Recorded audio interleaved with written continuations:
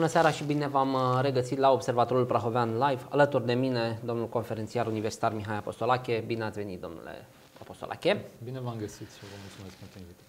Discutăm astăzi despre uh, ce se va întâmpla uh, la alegerile de anul viitor. Ne așteaptă mai multe rânduri de alegeri. Încă nu s-au hotărât cei de la PNL și PSD dacă vor fi comasate. Dacă nu vor fi comasate, vom uh, uh, ieși din casă de vreo 4 ori, am socotit eu cel puțin, pentru a, uh, cred că de 5 ori, dacă stau să mă gândesc la prezidențiale care vor fi sigur în două tururi, um, pentru a ne alege de la europarlamentari, la primarii, șefi de consilii județene, parlamentari și chiar președintele țării.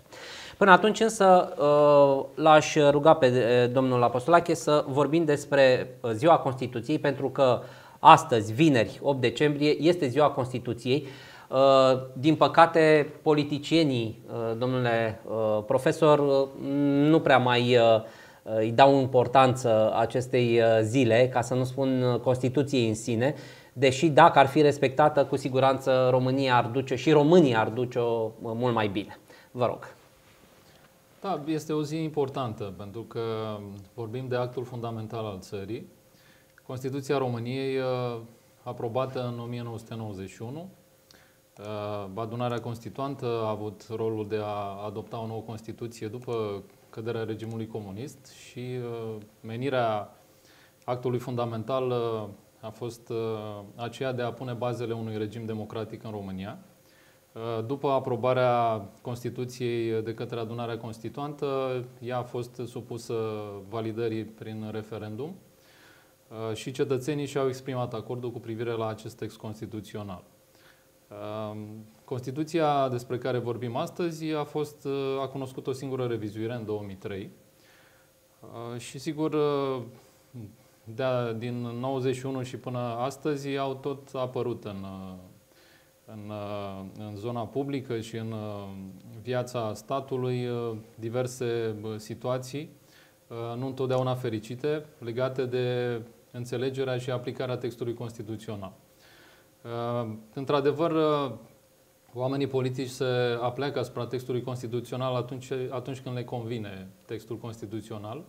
Atunci când uh, simt ei că sunt încurcați în activitatea lor, încearcă să evite dispozițiile constituționale sau mai grav să le dea o interpretare eronată, lucru care, bineînțeles, afectează activitatea instituțiilor statului și au fost nenumărate exemple de conflicte juridice de natură constituțională între autoritățile publice, autorități de nivel constituțional, conflicte care au fost tranșate de către Curtea Constituțională. De altfel, Curtea Constituțională știm bine că este garantul supremației Constituției și faptul că de-a lungul timpului au tot apărut conflicte de natură constituțională, a așezat această autoritate pe un loc important în uh, arhitectura constituțională. Chiar unii spun că a devenit Curtea Constituțională a treia camera Parlamentului. Da, uh, mă uit uh, pe textul Constituției pe care o aveți și dumneavoastră în față și mă uit la câte drepturi ar trebui să aibă românii conform Constituției, care este legea de căpătâie a funcționării statului român. Uh, nu știu, dreptul la viață, uh, dreptul la cultură, dreptul la sănătate, uh, dreptul. Sunt, sunt foarte, foarte multe. Autoritățile publice respectă și ocrotesc viața intimă, familială, privată. Domiciliul și reședința sunt inviolabile. Sunt foarte multe drepturi.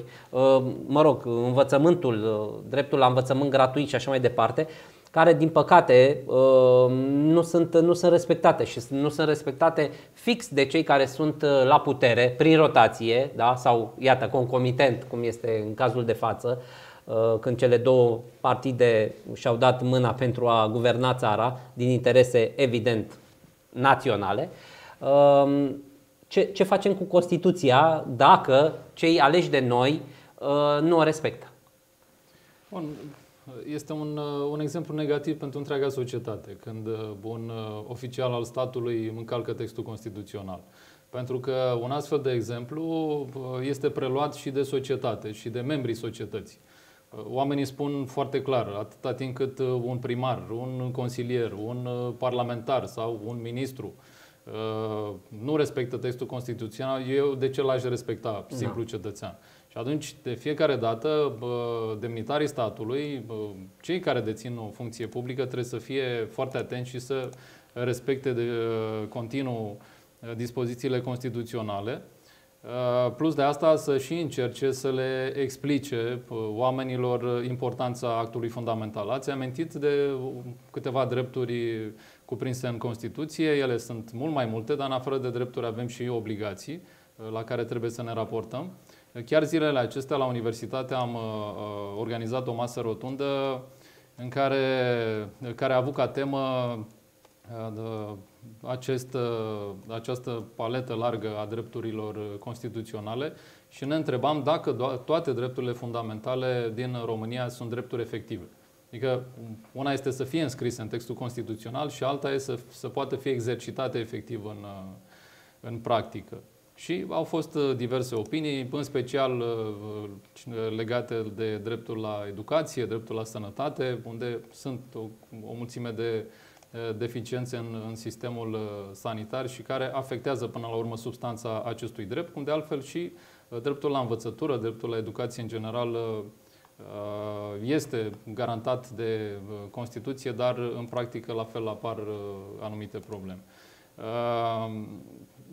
În opinia mea, sunt importante astfel de, de dezbateri, mai ales cu tineri, pentru că odată și ei uh, înțeleg uh, ceea ce a dorit adunarea constituantă la momentul în care a inclus uh, acele drepturi în Constituție. Pe de altă parte, printr-o raportare la, la viața de zi cu zi, la practică, putem să înțelegem dacă, într-adevăr, acele norme constituționale își găsesc uh, efectiv aplicarea în practică și uh, ce e nevoie de să îmbunătățim în, uh, în acest sens. Da, schimbăm puțin registru, trecem la um, alegerile de anul viitor și um, aș vrea să ne referim la începutul discuției pe această temă la un sondaj pe care Observatorul Prahovean l-a realizat în, toamna, în această toamnă Uh, și ale căror uh, rezultate sunt publice, le găsiți evident uh, pe Observatorul Prahovean.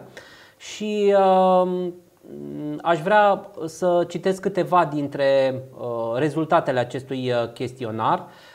De exemplu, o pondere importantă, aproape 75% dintre cei care au răspuns chestionarelor făcute de colegii mei Um, repet, 75% sunt interesați de modul în care este administrat uh, Ploieștiul.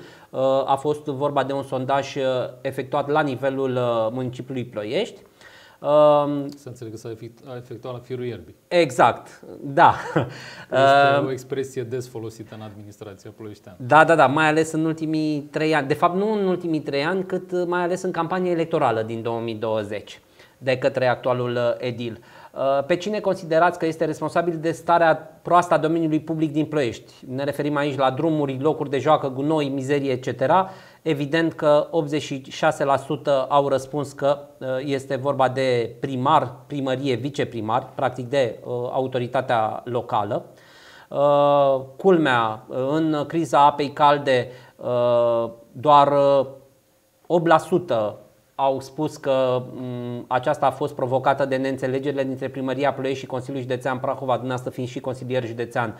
Uh, și uh, o proporție covârșitoare, 91% indică uh, ca vinovați pentru criza de apă caldă de anul trecut pe Andrei Volosevici, primăria și Consiliul Local. Uh, de asemenea, Uh, un lucru important în uh, preferințele uh, celor care vor merge să-și aleagă primarul anul viitor. 70% au răspuns că important este omul, candidatul și doar 18% au considerat că vor vota în funcție de partidul care îl, îl propune. Și mm, la fel, această opinie se menține inclusiv Uh, la răspunsurile din ce partid ar trebui sau vreți să facă parte viitorul primar al Ploieștiului, ei bine, 42% au spus că votez omul, nu partidul. Spre deosebire de alți ani în care mi-aduc aminte fix la Ploiești în 2008, un uh, consilier local spunea că atunci când PDL era pe val, că și dacă îmbraci o maimuță în portocaliu iese primar la Ploiești, uh, lucru care s-a și întâmplat în sensul în care atunci oamenii votau cu partidul aflat pe val, cel puțin ultimele rânduri de alegeri locale ne-au demonstrat că nu partidul mare este important, ci mai ales omul. Și aici, dumneavoastră fiind și uh, președintele Partidului România Acțiune, în acțiune, cea în care s-a, uh, care s-a transformat din Prahova în acțiune, surpriza alegerilor uh, locale din 2020, cum vedeți nu știu, trendul acesta al viitorilor aleși în funcțiile publice locale? Am analizat și eu acest uh, sondaj de opinie și uh, datele lui sunt importante. În primul rând, uh, percepția uh, ploieștenilor legată de prestația administrației.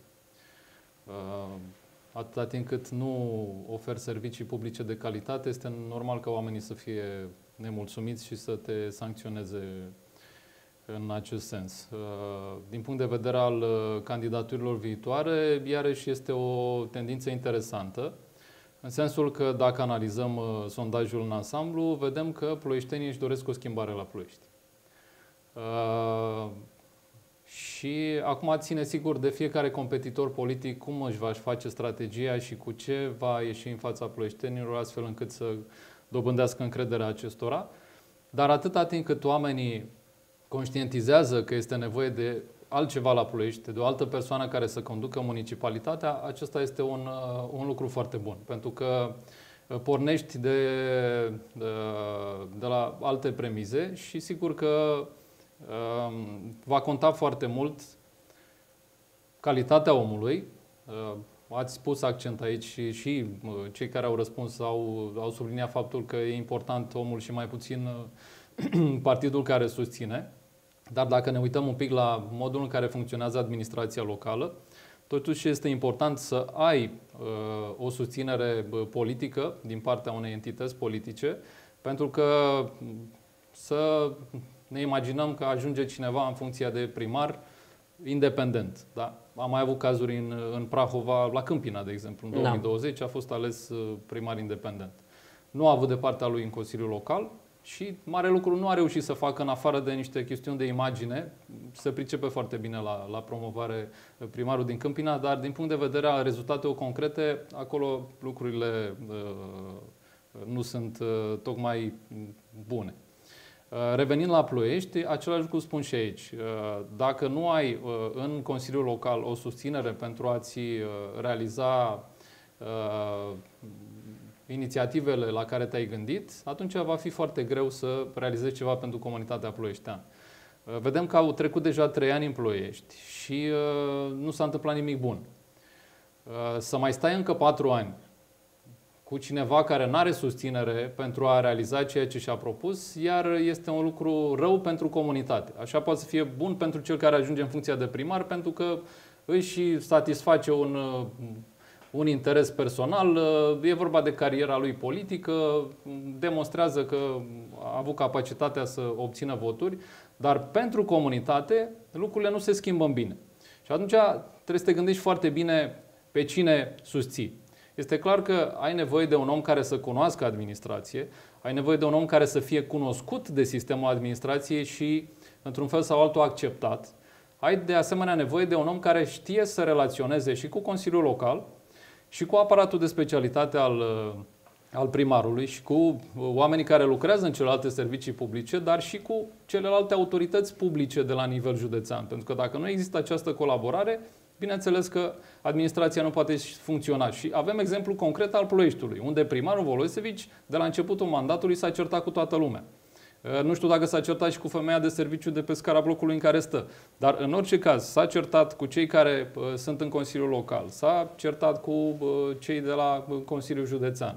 Uh, nu scapă ocazia să nu se certe cu cineva. E, un astfel de comportament face altceva decât, încă o dată, să afecteze comunitatea și buna funcționare a, a, a activității în Cum ați în caracteriza administrația publică. mandatul actualului primar al Ploieștiului, Andrei Volosevici, în 3-4 cuvinte? Bun, păi l-au caracterizat cetățenii în uh, sondajul de opinie. Este clar că atâta timp cât uh, oamenii au spus că sunt nemulțumiți de cum arată orașul, uh, nu pot să spun eu altceva, pentru că și eu văd aceleași realități pe care le văd uh, majoritatea ploieștenilor. Candidatura dânsului pentru un nou mandat, dar din partea unui alt partid, uh, aflat acum pe val, să spunem, PSD. Nu știu ce o să fie în toamnă, când vor avea loc alegerile, alegerile locale. Credeți că e suficient pentru a-i asigura încă un mandat sau numele în sine m, poate fi o piatră de moare inclusiv pentru PSD? Cel care și-a asumat, partidul care și-a asumat candidatura domnului Volosevici la primăria Ploiești în 2024. Bun, înțeleg calculul simplu al primarului Volosevici de a merge la un partid care teoretic stă bine în sondaje la nivel național și dacă este un singur tur de scrutin, are șanse să mai obțină un mandat de primar. E, suficient notoriet- e suficientă notorietatea? Uh, e- Dânsul are o notorietate negativă și cu- sunt convins că va trage în jos și uh, partidul de unde va candida. Deci acest calcul uh, simplu nu o să uh, nu o să-l ajute deloc. Pentru că, așa cum ați amintit, uh, oamenii îi cunosc activitatea sau, mai bine spus, uh, uh, cunosc rezultatele slabe ale uh, administrației Volosevici din acest mandat. Și atunci, indiferent unde va merge, automat vă- îl va sancționa atât pe el cât, cât și partidul pe c- care îl susține în alegerile respective. Uh, Deci, revenind la, la uh, concluzia uh, sondajului, ploieștenii așteaptă o schimbare în, uh, în municipiu. Uh, Și, încă o dată spun, este un, este un lucru bun. Acum contează foarte mult ce tip de uh, candidat aduci în față. Eu apreciez că trebuie să fie fie bă, cineva din, din zona politică uh, care să aibă forța să se impună în administrația bă, ploieșteană, să cunoască realitatea din, uh, din administrație, să aibă încă o dată o relaționare bună cu toate autoritățile și instituțiile statului, să mai cunoască și drumurile pe la București și să reușească să deschidă niște uși acolo astfel încât să fie un avantaj pentru municipalitate, să mai meargă un pic și pe la Bruxelles, să mai vadă ce se mai întâmplă acolo în politica europeană și ce bă, mai gândesc oamenii ăia pentru a ajuta comunitățile bă, locale. Uh, Sau avem varianta să vină în fruntea bă, municipalității un om care s-a remarcat într-un anumit domeniu de activitate, o personalitate care prin uh, conduita sa să reușească să uh, urnească lucrurile în administrația ploieșteană. Da, interesantă opinie. Acum rămâne de văzut uh, clasa politică, ce surprize va oferi în, din punct de vedere al candidaților la, la primăria Ploiești. Pentru că, din păcate, în ultimii ani uh, am fost obișnuit să alegem răul cel mai mic, nu? Ceea ce mi se pare absolut, uh, m, absolut îngrozitor. Și apropo de rău cel mai mic, uh, uh, schimbăm, uh, rămânem în zona alegerilor, dar schimbăm registru și mergem în zona alegerilor pentru președinția României. Uh, Apropo de răul cel mai mic, țin minte că în 2000, cred, m, dacă nu mă înșel, dar cred că în 2000 eram tânăr, uh, mă rog, eram de dreapta și totuși uh, am fost și l-am votat pe domnul Ion Iliescu, pentru că în finala din turul al doilea intrase dânsul cu celebrul domn Vadim Tudor, fiei țărâna ușoară.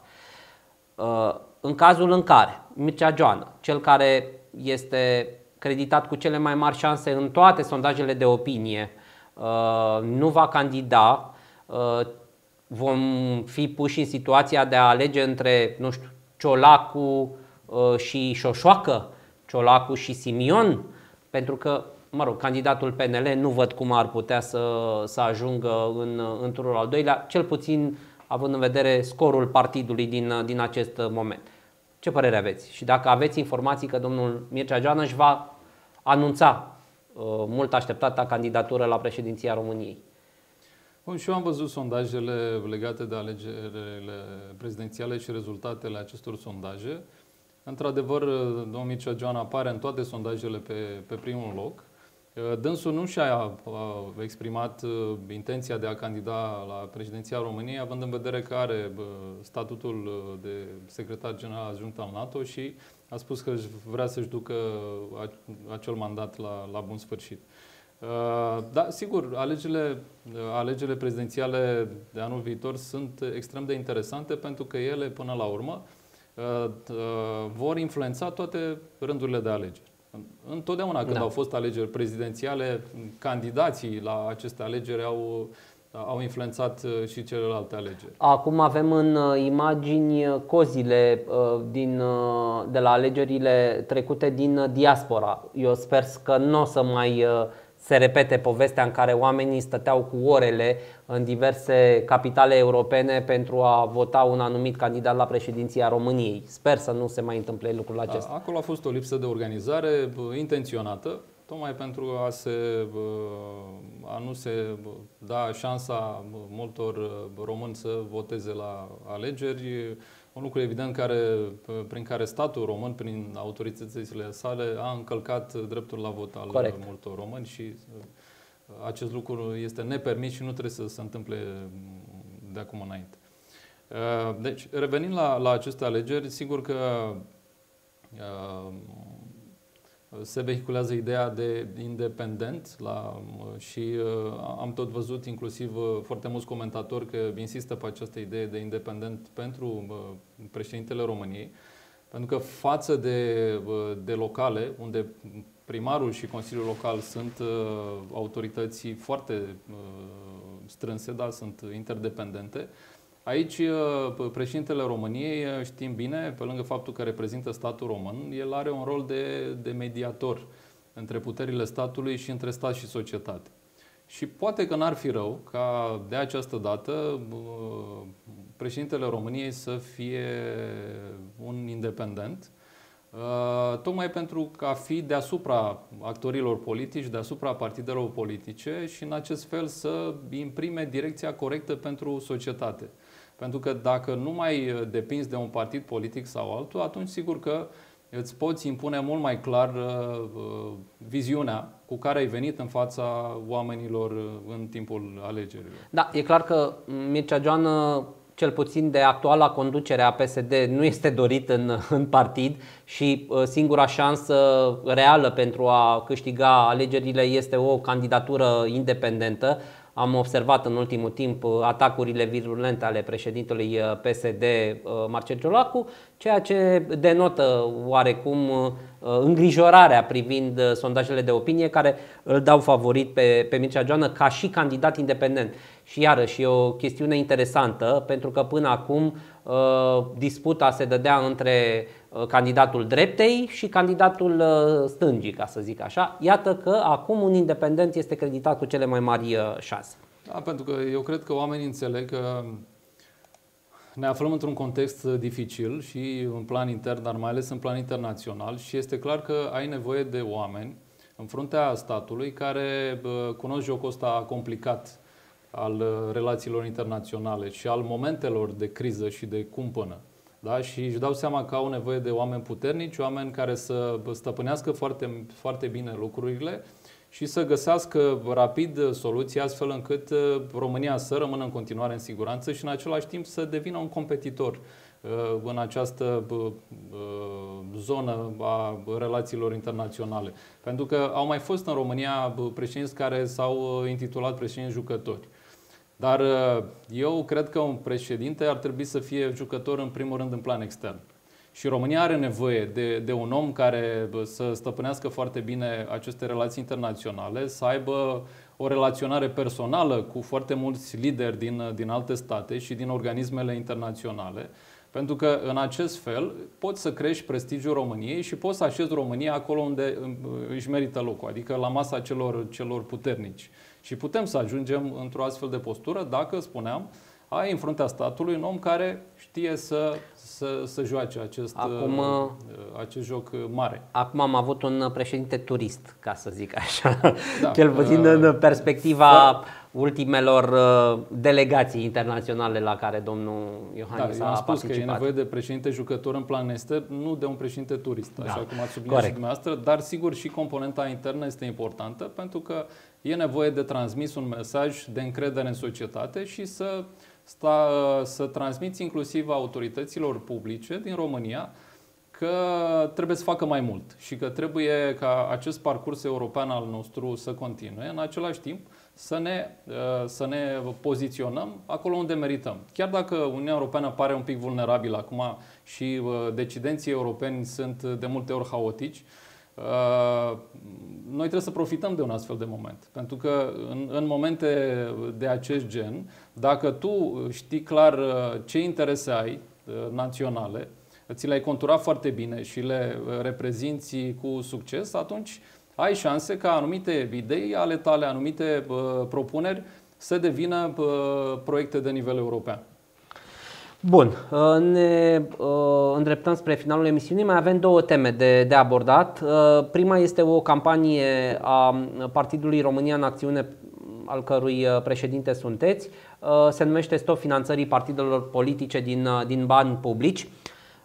Este o inițiativă care, din punctul meu de vedere, uh, merită cât mai mult uh, promovată, în condițiile în care observăm uh, că sumele alocate partidelor politice cresc de la an la an. În condițiile în care românii sunt sfătuiți să strângă cureaua, să își plătească taxele la timp, să fim solidari în aceste momente de cumpănă, fie că vorbim de pande- am vorbit de pandemie, fie că am vorbit de războiul din Ucraina, partidele politice, în special cele parlamentare, continuă să, să primească niște sume foarte mari de la, de la bugetul de stat. Uh, nu v-ați pus în cap uh, cu ghilimelele de rigoare uh, oamenii politici care trăiesc efectiv din, din bani publici? Da, este anormal să trăiască din bani publici. Până la urmă, toate, toți competitorii politici trebuie să aibă șanse egale. Uh, este anormal ca partidele parlamentare să fie subvenționate de stat, iar alt, alte partide să trăiască din uh, resursele proprii. Și atunci uh, noi am spus că trebuie să eliminăm această subvenție, tocmai pentru a exista șanse egale, în același timp pentru a respecta drepturile cetățeanului, pentru că nu putem să obligăm oamenii să susțină PSD, PNL, AUR sau USR din taxele lor, dacă au o altă timp, opinie... Dacă au o altă opinie politică. Corect. Uh, de asemenea, campania aceasta a fost, este importantă pentru că este și o campanie de informare. Sunt foarte mulți oameni care nu știau că uh, nu toate partidele politice sunt finanțate de stat. Și cu această ocazie, oamenii s-au lămurit că doar partidele parlamentare și câteva partide neparlamentare primesc bani de la bugetul de stat, iar toți ceilalți se finanțează din bani proprii. Cum și noi, la România în Acțiune, facem același lucru, ne finanțăm din contribuțiile uh, membrilor noștri. Uh, iar ca sume, pentru că ați amintit de sumele care se, se dau an de an la, la partide, doar anul trecut aceste partide au primit 52 de milioane de euro de la bugetul de stat. Da, uh, am aici uh, o ultima, să spunem, ultima raportare, citesc de pe expertforum.ro. Anul acesta partidele vor primi 258 de milioane de lei din subvenții, deci iată, peste 50 de milioane de euro. În primele șase luni, cele șase partide care au dreptul la bani în România cred că sunt zeci de partide, zeci de formațiuni politice, da? deci nu doar șase, apropo de ce spuneați dumneavoastră. Uh, au primit în conturi deja, repet, jumătate din sumă, adică 125 de milioane de lei, au cheltuit 118 milioane, Autoritatea Electorală Permanentă, instituția care gestionează fondurile, a transferat către PSD 48,2 milioane de lei, către PNL 40 de milioane de lei, către USR 22 de milioane de lei, AUR 9,7 milioane, PMP și Pro-România, care sunt partide neparlamentare, au primit de asemenea 2,5 milioane, respectiv 1,8 milioane de lei. Da, e clar că, nu știu, cu 50 de milioane de euro poți construi un multe spital. în țara asta. un spital cu 52 de milioane de euro. Asta se întâmplă an de an. Dacă multiplicăm exact. ultimii 20 de ani, am fi avut 20 de spitale noi în toată țara. Nu a fost aceea sumă. Ea a crescut Ca idee. la an. Da, Dar da. oricum s-a ajuns, s-a ajuns prea departe și așa cum ați subliniat, atâta timp cât oamenilor le spun guvernanții că nu sunt suficienți bani, că trebuie să strângă cureaua, uh, ne, ne ducem către firme și creștem impozitele acestora, da? Uh, pentru partide întotdeauna se găsesc bani. Deci guvernanții nu se uită către partide, se uită către orice altceva. Ceea ce nu este normal. Și v-am spus, nu este normal nici din, din punct de vedere al, al șanselor pe care trebuie să le aibă fiecare competitor uh, politic. Corect. Bun, uh, am ajuns, uh, am ajuns și la ultima temă, vorbind despre o campanie um, pe care Partidul România în acțiune o derulează în ultima perioadă, se numesc dezbaterile România în acțiune. În ce constă, cine poate asista la astfel de dezbateri și mai ales uh, cine sunt invitații care susțin aceste, aceste să le spunem, conferințe până la urmă pe, difer, pe diferite teme. Păi încep cu, cu ultima întrebare. La mm, aceste dezbateri sunt invitați oameni din societatea civilă, oameni care s-au remarcat în diverse domenii de activitate, că sunt antreprenori, că sunt uh, jurnaliști, că sunt oameni din, din, uh, din zona de sport și au făcut performanță în educație și așa mai departe, pentru că vrem să avem un contact permanent cu, cu această zonă. Uh, suntem un partid deschis, vrem tot timpul să, să vedem realitatea, nu să ne concentrăm doar pe ceea ce vedem noi în interiorul nostru, ci trebuie să vedem permanent ce se întâmplă în societate și în același timp să și învățăm de la oameni care au, au rezultate concrete în domeniile lor de activitate. Uh, și la aceste dezbateri participă atât membrii noștri de partid, cât și oameni care doresc să, să asiste la aceste dezbateri. Deci suntem deschiși pentru oricine, membrii, simpatizanți, oameni care, chiar dacă nu, nu agrează ceea ce facem noi, dar doresc să participe, sunt bineveniți la, la aceste evenimente. Și vă spun că reacțiile sunt foarte bune. Vom continua acest uh, proiect. Uh, sediul devine neîncăpător uh, și devine, în primul rând, pentru că avem invitați de marcă și vom face acest lucru permanent. Evident, fiecare, fiecare dezbatere va fi promovată pe platformele de socializare ale partidului, așa că dacă urmăriți România în acțiune, veți fi la curent cu invitații la aceste dezbateri. Domnule Apostolache, vă mulțumesc pentru participarea în emisiune. Sper că ne-am făcut uh, uh, prieteni, dar și dușmani prin ceea ce am dezbătut în această emisiune și vă doresc succes așa cum o fac uh, tuturor invitațiilor mei. Vă mulțumesc. Cu dumneavoastră mă revăd săptămâna viitoare. Până atunci, rămâne sănătoși.